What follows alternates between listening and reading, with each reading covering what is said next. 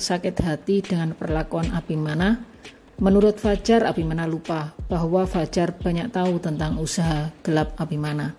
Di sisi lain, kemungkinan Abimana juga akan mendapatkan ancaman dari orang-orangnya sendiri yang setia kepada Fajar. Dan Abimana juga panik dengan ancaman Aldebaran. Tapi Abimana tidak jeli.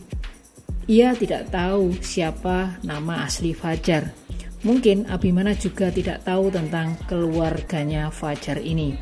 Apakah Fajar berkhianat dan menjebloskan Abimana ke penjara karena bisnis gelapnya?